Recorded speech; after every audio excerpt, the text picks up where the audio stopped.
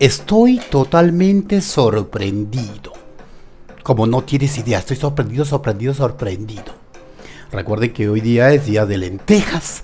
Y ya una seguidora me escribió en los comentarios que va a preparar lentejas. Dice que cuando preparas lentejas los lunes, ahí tienes plata como cancha.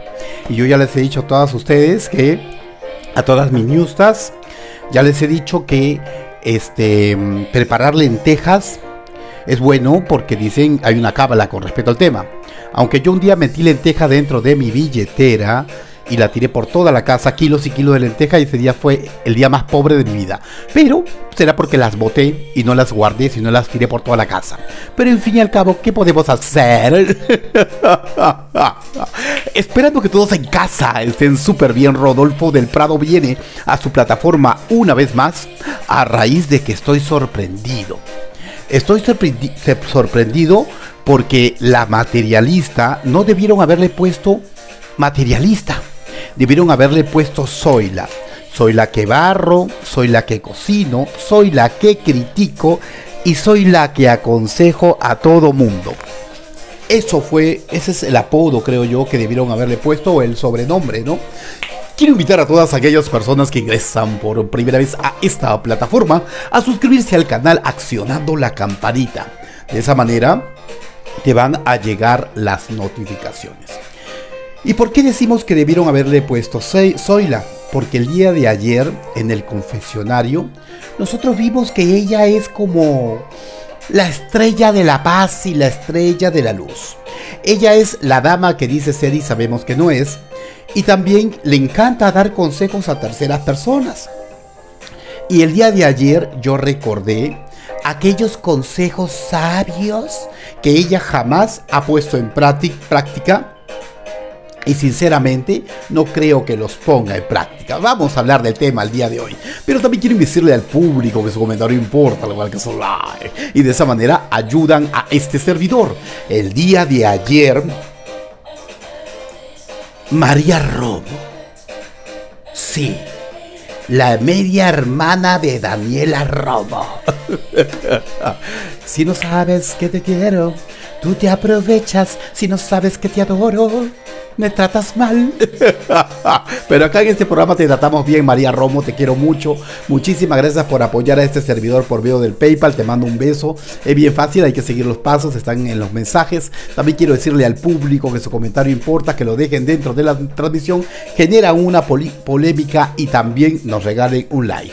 Vamos a cambiar el tono de la música y no me quiero quedar callado a raíz de lo que escuché el día de ayer y que obviamente recordé, en ese momento no la conocía muy bien a esta mujer llamada materialista y de todas las cosas a las cuales se dedicaba y por eso no la critiqué. Pero ¿saben qué, mi querido público? Ay, nunca es tarde. Nunca es tarde. No hay mal que por bien, como es, no, no conozcas, algo así, ¿no? Algo así el público me, me corregirá conforme vaya pasando el programa si hay necesidad de corregirme, pero no hay mal que por bien no venga. Así es. No hay mal que por bien no venga y desde acá nosotros, a nosotros que nos encanta estar metidos en el mundo del espectáculo y de la farándula y decir pues lo que otros no se atreven a decir, vamos a decirlo en el programa al fiel estilo de este servidor que termina siendo un encanto y un amorcito del corazón sin. Por supuesto que sí. Empezamos el programa. El día de ayer las preguntas dentro del confesionario continuaron. Y en esta oportunidad le tocó el turno a la materialista. Sí, la jefa le haría una serie de preguntas y aparentemente hay tres preguntas que me llamaron poderosamente la atención. Tres preguntas que obviamente condenan a aquella mujer que ha olvidado prácticamente su pasado. Un pasado que está presente en las redes sociales y hasta el día de hoy pues ella sigue ocultando, pretendiendo hacerse ver como una señora de sociedad, comenzando a criticar a Diego Soldano, comenzando a criticar a Aileen Mujica y encima, encima la conchuda cara de jeve, aquella que viste y calza, pues comienza a dar Cátedra de cómo debe portarse una dama. Primero empieza por tu vestuario. Por eso es por lo que debes de empezar.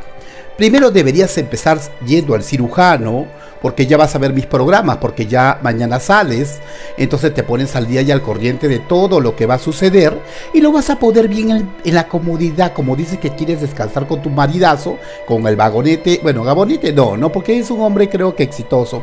Quieres descansar con él, te sientas allí y te pones a verme para que sepas cómo te voy diciendo tus verdades, verdades que no te han atrevido a decirte tus compañeros, pero que gracias a Moa te miran como te miran te ven como te ven y con su cara lo dicen todo, incluido mi amigo Diego Soldada.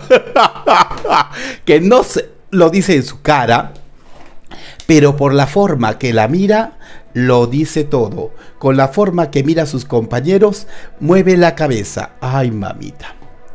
Qué horror.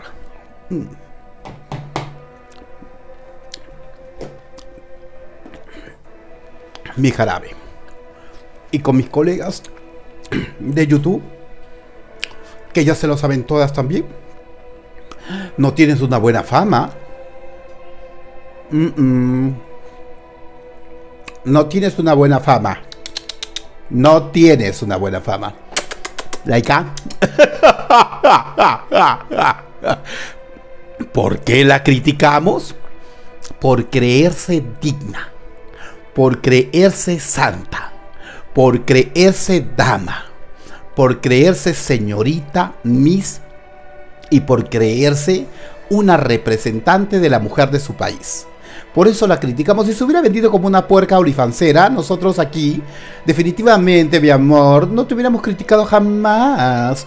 Pero como te quisiste vender en algo que no eras, hipócrita, así como tu discurso de todos los días que tenemos que escuchar de Dios, del amor, y no va acompañada con tus actos, por ese mismo motivo te comenzamos a criticar. Pero si te hubieras puesto en otra posición, te hubiéramos alabado. Porque acá somos inteligentes, acá no somos brutos. O sea, acá te hubiéramos alabado y dicho, ay, qué bacán, ¿no? Ella está dando buenos consejos a raíz de compararlo con su vida, ¿no? Pero parece que ella borró cassette Parece que ella borró cassette y se olvidó de su pasado creyéndose que por un anillo es una dama. pobre infeliz, oye, pobre infeliz. Pero así son las descaradas, pues. Las que son damas no dicen nada. Ahí está Madison, ¿ve? Y la que no es dama habla y dice que es dama sola, sola. Nadie le califica como tal. Ella sola se califica, ¿no? Entonces la jefa le hizo tres preguntas que me llamaron la atención y por ese mismo motivo estoy haciendo el programa. Y como a mí me encanta decir las verdades, aquí en el programa se las digo. Según esta mujer dice que su marido sí se divirtió al verla pues con una ropa dentro de la casa siendo una apulgar. En algún momento nosotros hemos visto que él la ha celado a raíz de la ropa que ella lleva encima. Y seguramente que no quería hacerle escándalo más del que le hizo, de acuerdo a lo que nosotros vimos, porque está en medio de la televisión y él parece que es un machista. Así que por ese lado, pues, ¿qué le puedo decir? Salió en la mesa caliente, creo, ¿no? En un programa después de la gala. Dice, no, a mí me gusta verla así. Me imagino, pues, ¿no? Porque tienes que haber sido cliente de su OnlyFans también. y seguramente que te gustaba, pero ahora es tu mujer, pues. Ahora es tu mujer. Entonces, si te gustaba verla así, como se ve, ¿por qué demonios, digo yo, ¿no? Porque tú tienes que haber hecho también parte ahí, meter tu cizaña de que ella bajara el OnlyFans. ¿Por qué motivo el OnlyFans ya no tiene las fotos pornográficas que tu mujer tenía? Te pregunto, ¿no? Porque si tú te sientes orgulloso de verle semicalata, siendo de un metro veinte, con ese cuerpo horroroso que tiene tu mujer, que es para una mujer de un metro ochenta y cinco, con esas caderas escandalosas, con ese culo mal rellenado, con esas tetas que no va a, a, predisposición de su cuerpo y que parece Carolina Sandoval, ¿no? Entonces, pues, yo digo, no debiste haberle dicho o no debiste haber hecho de que ella cerrara el OnlyFans y poner cosas de cocina y de su música. Incongruente total. Y más incongruentes son las calabazas que lo entrevistan y le hubieran dicho, pues no, bueno, si estás tan orgulloso de que ella es no sé qué, que no te da, no te da pena verla semicalata ahí dando vergüenza y dejándote como un pobre santo cachón, así le hubieran así le hubieran dicho en el programa, ¿no? Entonces, pues, ¿por qué motivo no hubieras hecho que ella baje el OnlyFans y de ahí le hubieras mantenido las fotos pornográficas que tenía? los videos que los vendía por medio de su plataforma, según lo que cuenta ella en sus comentarios, y yo los tengo todos, según lo que dice. Entonces, de esa manera, pues, querido, es creíble lo que dices. Pero no es creíble, Bleuri, déjame decirte, Satakachuni. qué vergüenza, santo Dios, qué pena me da su vida. Ella lo está usando, yo lo digo, lo repito en el programa, así lo veo, no me equivoco. Todo es cuestión de tiempo. Y el tiempo siempre, déjame decirte, querido, por ser tan analítico y por tener sabiduría venida de arriba, no me equivoco. En calificar y en juzgar, jugar no. Calificar a las personas de acuerdo a su comportamiento y a sus actos. ¿Me entendiste? Qué pena, ¿no? Qué pena que la vida no te haya dado belleza. Pero que sí te haya dado dinero. Porque billetera mata galán, querido. bueno, tuvo que trabajar toda su vida para llegar donde llegó, pero miren dónde se arrimó. Ahí estos tienen una suerte. Prefiero ser misión. Prefiero ser. Antes que te toque con una como esa, prefiero ser misión.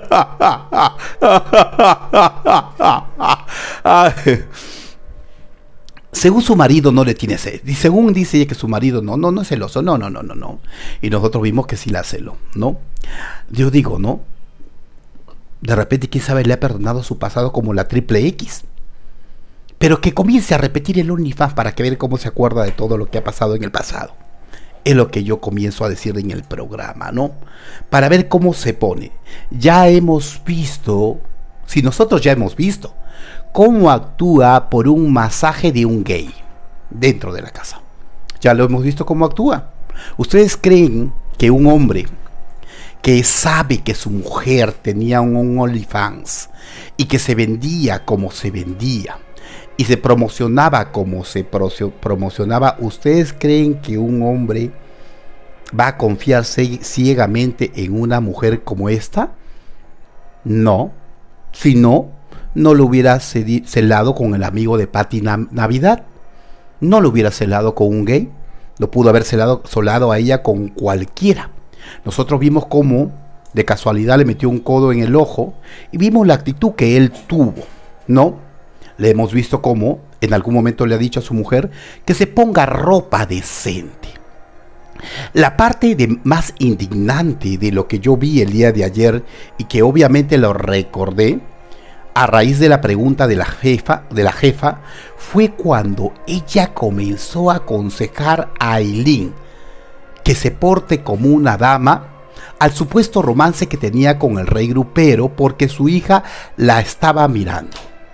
Fue en aquella oportunidad donde Aileen estaba en la piscina porque sí vi esa parte del programa y le comienza a aconsejar, pero no pensé que era la triple X que todo el mundo conocía en este programa, como yo soy buena onda, yo te voy a decir cómo debiste habérselo dicho para que no quedes mal y obviamente para yo no criticarte a raíz de tu comentario hacia Aileen. Vamos a suponer que yo soy la materialista, pero acá le falta un efecto especial. Ay, claro, pues porque si esta es una pendeja, nosotros tenemos que salir como realmente debe de ser. Señores de YouTube, Yo estoy criticando al mundo del espectáculo de acuerdo a lo que ella hizo en las redes sociales en el OnlyFans, calateando y mostrando el tesorito y todo lo que ustedes se pueden imaginar de acuerdo a los videos triple X que yo he podido ver conforme ha pasado el tiempo. Se lo voy anunciando desde aquí, desde el programa.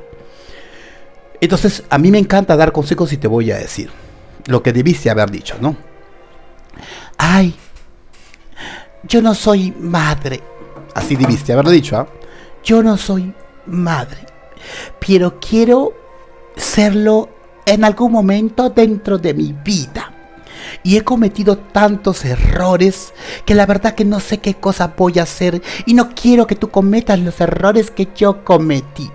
Me he vendido en el OnlyFans como una triple X. Así me vendí. Así debiste haberle dicho. Y no sé cómo voy a hacer cuando yo tenga una hija y me vea cómo mostré el alacrán a todos los hombres y le cobraba 15 dólares por suscripción y también le vendía los videos y las cosas que dije que les iba a enviar y a veces le mandaba repetida. Pero no se lo cobraba. Por eso yo como mujer me siento en compromiso de darte un consejo. ¿Tú crees que yo te hubiera criticado ordinaria? Jamás lo hubiera hecho. Te hubiera aplaudido y te hubiera dicho que bien, que de acuerdo a toda la porquería que has hecho en tu vida y que te crees bien digna y bien santa, criticando a Diego Soldano, a Madison y hasta la misma Aileen, te hubiera dicho, ay, qué bueno, ¿no?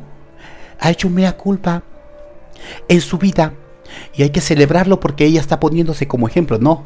Ella se puso como ejemplo como si fuera una digna mujer y de digna no tiene nada, ni el alma tiene de digna esa descarada. Y quién sabe, a raíz de los consejos que le daba Sailín de corazón, mostrándote como demonios eres, quién sabe ella que es muy buena consejera hasta donde yo he podido observar y muy diplomática, a ti te hubiera dado un buen consejo para que sepas qué cosa es lo que podrías hacer si tuvieras hijos. Consejo desde mi punto de vista.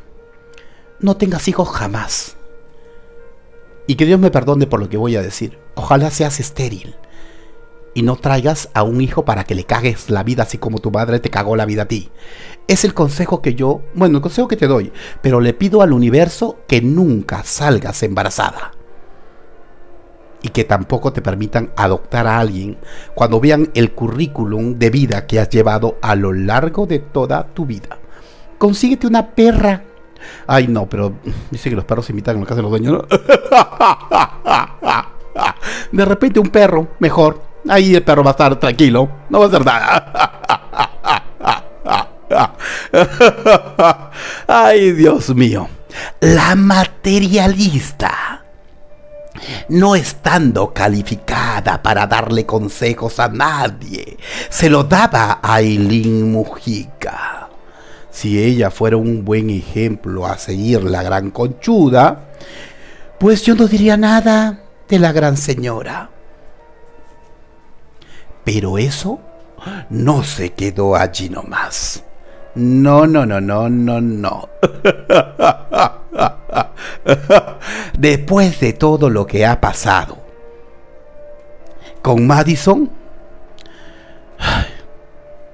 y lo que ha dicho de ella, la envidiosa piensa tener una amistad con Madison cuando salga fuera de la casa de los arroz pastrosos. Y yo me pregunto a toda esa historia, ¿no? ¿Y qué cosa va a hacer una Miss contigo? ¿Qué cosa le vas a enseñar? ¿Qué cosa va a aprender aparte de ser una hipócrita y falsa? ¿Qué va a aprender? Yo desde aquí le quiero mandar un mensaje a su familia. A su familia, a con, si es que continúa con él, a los amigos de Madison que siempre se van a mantener de su lado, que le digan que esa no es un buen ejemplo para nadie. Que no es una buena amiga y que se mantenga dos mil o veinte mil leguas de kilómetros de distancia de esa mujer. Y desde acá yo, Rodolfo del Prado, como amigo, porque sí me considero amigo de ella, me considero fans de ella, ojalá que algún día podamos ser amigos, pues le aconsejo que se aleje de mujeres como ella, que tienen prácticamente doble moral, porque no te augura nada bueno para ti, mi amor. Déjame decirte, no te augura nada bueno con una mujer como esa. Que siempre ha dicho palabras, pero a la hora de ponerlas en práctica no las has sabido poner. Si no tiene la capacidad de arrepentirse de haberse salido del cuarto a raíz de Madison, ¿qué espera para una amistad para con ella? El día de ayer Laura le preguntó sobre Diego Soldano y lo comparó, ¿no? A ella con él. Lo comparó y le preguntó a ella una vez más cuál era la diferencia entre ellos dos. Ella dice que cuando estaba con ropa sugerente, algo sexy, ella no paraba en la toalla calateando, sino ya se ponía la toalla y se vestía. ¿Sí? No me digas. Y se te olvidó que andabas semicalata por todos lados y se te olvidó que te tiraste a la piscina sin brasier mostrando esas lolas llenas de aceite de avión. ¿Se te olvidó? ¡Ay, qué mala memoria que tienes!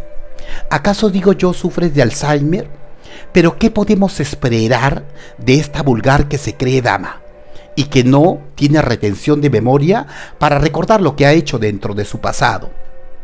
Cuando te tocó hablar de Aileen, la cara de Aileen lo decía todo. Era como diciéndolo, ya te conocimos por tus fotos, mi amor. Y te conocimos por medio de Rodolfo del Prado. La misma cara que tuvo, que tuvo Diego Soldano cuando hablaba con ella y miraba a sus compañeros. Mejor cállate. La casa ya termina y va a ver que todo el mundo sabe quién demonios es. Le cayó diciendo que de qué tanto hablaba si con el rey aparentemente están saliendo juntos. No entiendo por qué hasta el día de hoy nadie se atreve a decirle a esta mujer su pasado. Yo creo que en ese momento Aileen Mujica debió haberle dicho, bueno, cuando tengas, te voy a dar un consejo. Yo te voy a aconsejar ahora, le hubiera dicho. y para ese consejo, obviamente, tenemos que cambiar de peluca, pues, ¿no? Porque la Aileen es media rubia. Y le hubiera dicho, ay, ay, mamita, ya me aconsejaste, ¿no? sí, así le hubiera dicho. Yo te voy a dar un consejo a ti. Ay, pero voy a ponerme igual que tú porque también voy a ser bien maldita, le hubiera dicho. te voy a dar un consejo igual que tú. Anda pensando si es que vas a tener hijas ¿Qué cosa le vas a decir con respecto al tema de tu pasado en las redes sociales? Y de esa manera, mi amor, cuando quiera dar consejo, primera piensa tú muy bien qué cosa es lo que dices y lo que has hecho en tu vida. O si no, de lo contrario, quédate callada para siempre. Porque callada, mamita, te ves mucho, pero mucho, pero mucho mejor.